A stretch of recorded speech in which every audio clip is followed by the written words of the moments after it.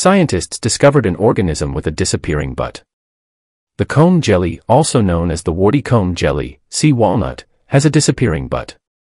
Sidney Tamm of the Marine Biological Laboratory in Woods Hole, Massachusetts, told New Scientist that there is no documentation of a transient anus in any other animals that I know of.